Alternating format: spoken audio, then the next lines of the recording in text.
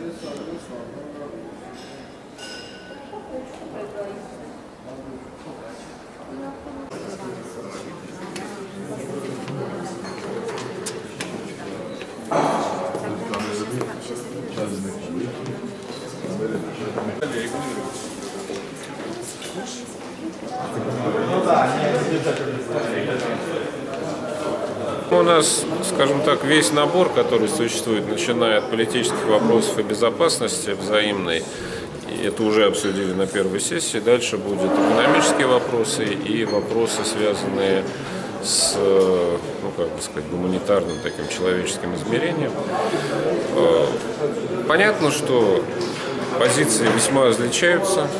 Э, Понятно, что в той ситуации, которая сложилась вокруг Украины, она не может не влиять на наше обсуждение. Довольно горячие споры идут, и высказывания вполне в том ключе, который можно было ожидать.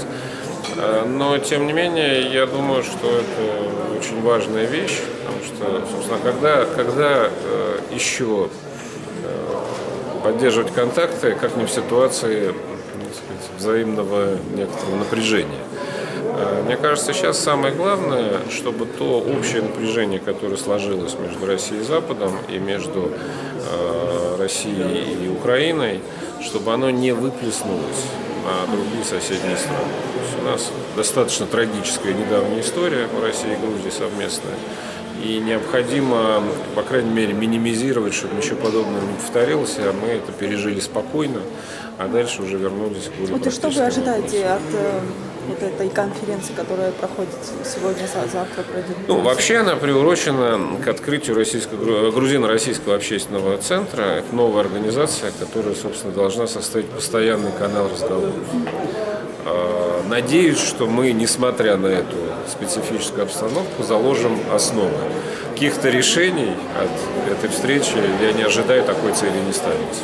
Думаю, что реально речь должна идти о том, чтобы обсуждать во-первых, возможно ли и что для этого нужно восстановление типа отношений, потому что это сильно облегчит э, дело даже не в межгосударственных связях, а это сильно облегчит людям жизнь. А, Во-вторых, э, понимая ограниченные возможности культурных обменов, тем не менее их надо поддерживать, потому что иногда складывается ситуация, когда это чуть ли не единственная ниточка. И, конечно, обеспечение прав и безопасности граждан Грузии в России и России в Грузии вне зависимости от политической ситуации, мне кажется, это тоже очень важная тема.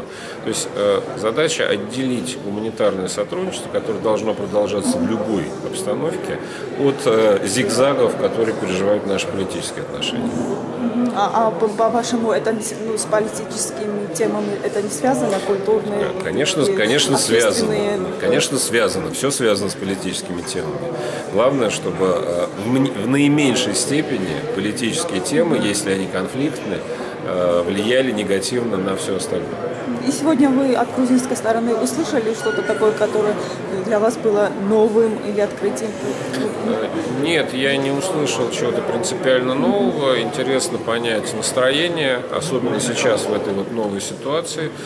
Настроение мне понятное, они весьма настороженные.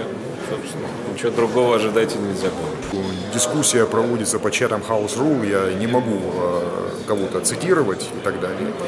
Э, могу сказать, что дискуссия достаточно оживленная и, э, в общем, другой она быть не может.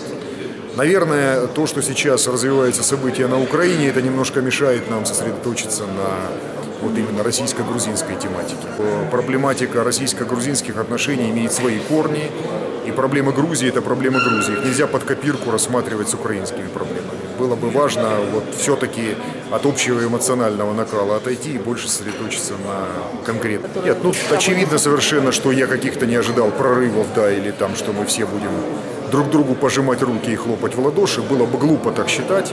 Но э, важно ведь не то, что ты хочешь услышать.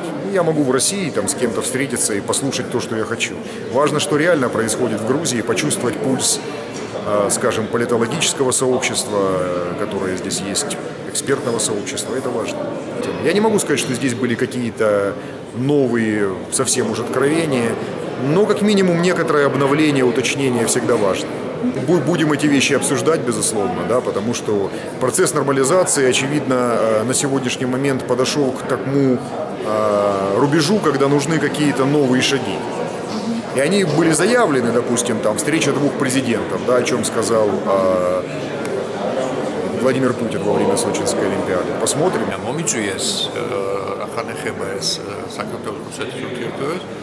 მე ფიქრობ, რომ საინტერესოა აა, მოვისმინოთ რუსი ექსპერტების მოსაზრებები, საკმაოდ კვალიფიცირებული და ცნობილი ექსპერტები არიან ჩამოსული.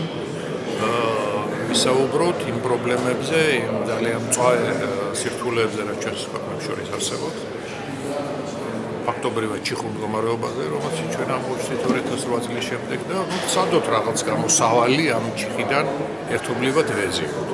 ჩვენი აზრი ხშირად ერთმანეთს არეხება, ხანდახან კარდინალურად საერთოდ. მაგრამ ნუ რეალობა უნდა ვიცოდეთ და რაღაც პერიოდულად ასეთი შეხვედრები ექსპერტებს შორის ყოველთვის ხდებოდა. 2008 წლის მომდევნო წლებშიც ეხლა ხდება, მე ფიქრობ, რომ ეს საჭიროა. ჩვენც რო პულსზე გვეჭიროს ხელი თუ აბა როგორ ფიქრობთ ეს საექსპერტო საზოგადოება რუსეთში მნიშვნელოვანია. ჩვენ რაღაცა შეთანხმებებს, პოლიტიკურ გარღვევებს ასე შეხვედრებზე არ ველით რა თქმა უნდა. ეს არის მინდა საექსპერტო შეხვედრა. მეც ამიტომ ვესწრები თავიდან ბოლომდე მაინტერესებს. Форм